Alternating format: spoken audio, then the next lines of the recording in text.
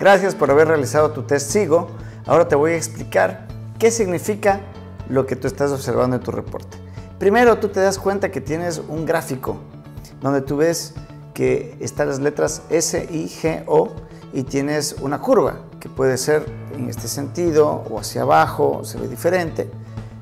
Brevemente, ¿qué quiere decir esto? Hay un punto medio que quiere decir que la media de la gente se comporta de esa manera. Si estás sobre la media, quiere decir que tienes un comportamiento más destacado que la mayoría de las personas en esa, en esa área, en, en ese perfil. Por ejemplo, si salió más marcado la S y es lo que está más arriba, quiere decir que naturalmente, espontáneamente, tu comportamiento es más socializador que los demás. Si está más marcado sobre la media, la I, quiere decir que tu comportamiento tiende a ser más influenciador que los demás. En promedio, si salió más marcado la G de generador, quiere decir que esa es tu tendencia comportamental más marcada en relación con los demás. Y la O también significa que eres más organizador u organizadora que el promedio de los demás.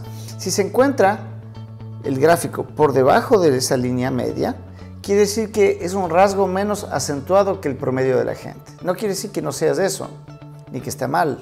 No, no, no. Simplemente que esa no es tu tendencia comportamental natural y que requieres estar estresado o estresada para que aflore.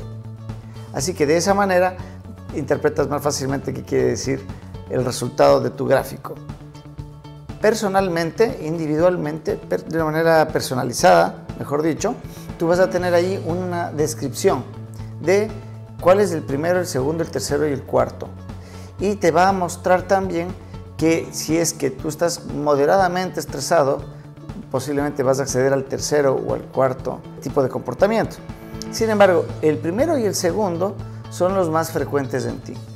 El primero es el más marcado, la tendencia más marcada, y el segundo es el que es de más fácil acceso a ti y tú te adaptas sin ningún problema con ese tipo de perfil a algunas circunstancias. Ahora, ya habiéndote explicado esto, entenderás más fácilmente ese reporte gratuito que tú tienes. Sin embargo, vamos a hacer énfasis en cada una de estas cuatro tendencias comportamentales para que comprendas mejor qué significa cada una y vamos a mencionar a cada una como qué fortalezas específicas tiene, qué debilidades tiene y si es que saliera por debajo de la media, qué significa para ti.